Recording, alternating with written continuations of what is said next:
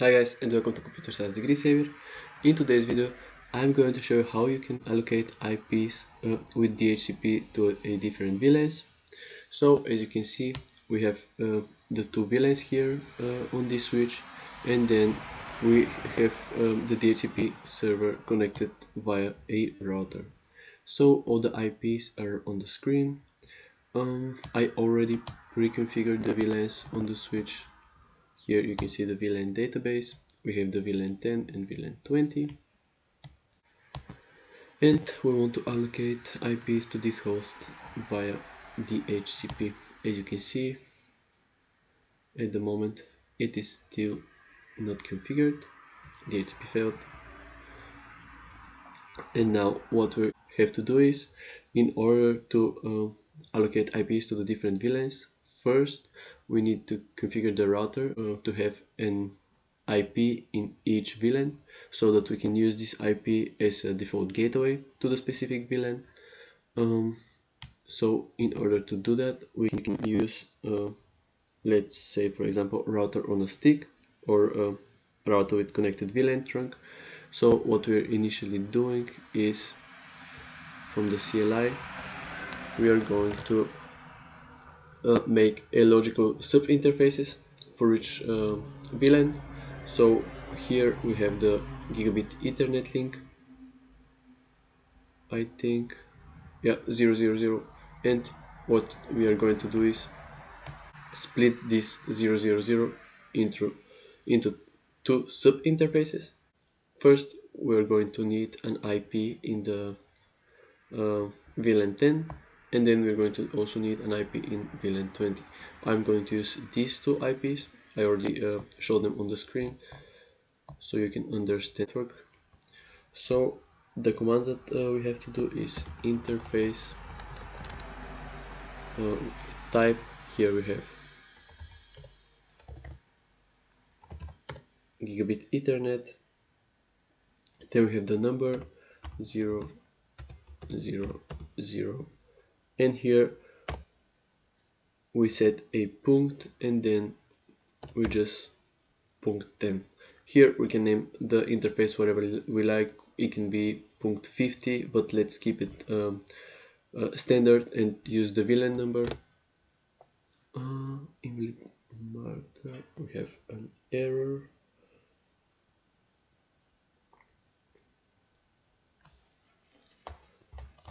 probably here. With oh at the end I placed this character here the backslash. That's why it failed. But now as you can see we created a sub interface and uh, we have to configure also the uh, IP for this interface and also activate encapsulation. We're going to use the dot one q standard and then we want here to choose for which VLAN we want to encapsulate packets. So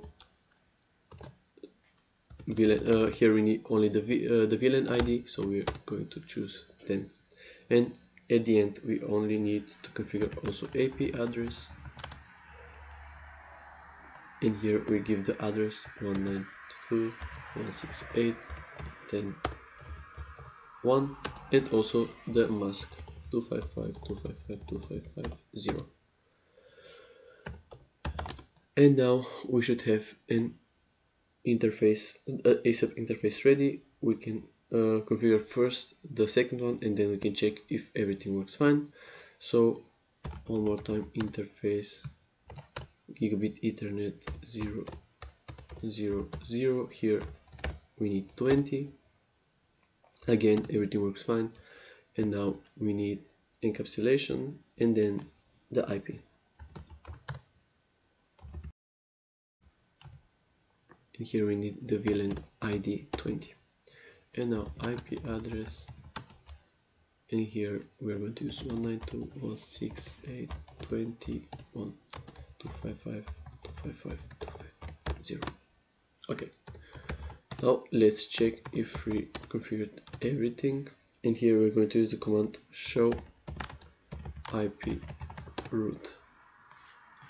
And as you can see here we have both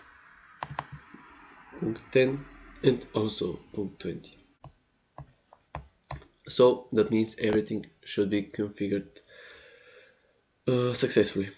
Now we have to make two separate IP pools from which you're going to allocate IPs one for VLAN 10 and one for VLAN 20 so here for the first let's name it pool 10 or just VLAN 10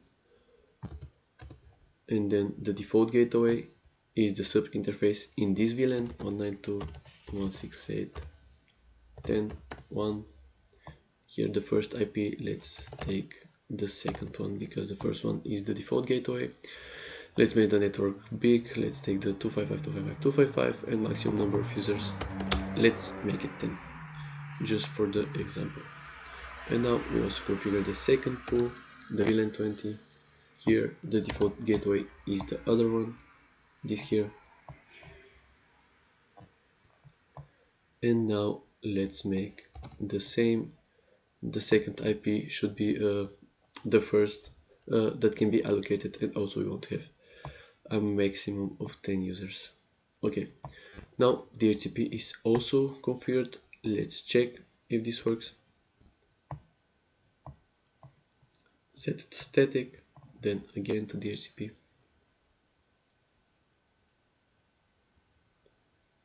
so it didn't work and that's because at the moment uh, we have a router that separates our network with the DHCP server and normally the host DHCP requests are not forwarded. Um, not, not routed sorry. Not uh, and that's because they use the broadcast address of the network for destination and use the IP address 0000 uh, for source.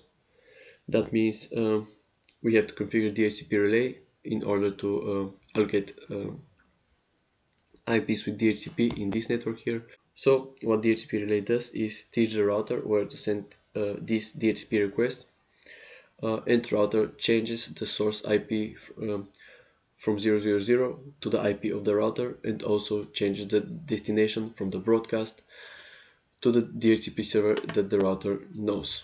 So for each sub interface here let's make config and now for each sub interface we're going to configure where to send the DHCP traffic. So let's make interface gigabit ethernet and we need the 00010 first. And here with the command ip helper address we teach the router where to send the DHCP request. And here we take the IP of the DHCP server 192.168.2.2 and now we do the same for the uh, second uh, gigabit interface the 20 with the same command nothing changed. And now the allocation should work. Oops.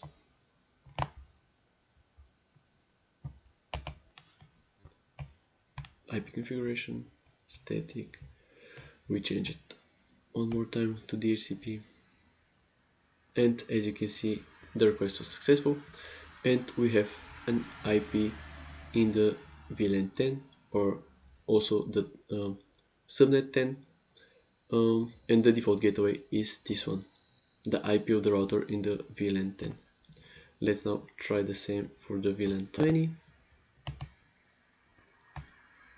desktop IP configuration and change that to static we should get an IP in the VLAN 20 and also the default gateway in is in the VLAN 20 so that's everything for today. I hope you enjoyed the video. If it was helpful please leave a like and uh, comment what you want to see in the channel. Bye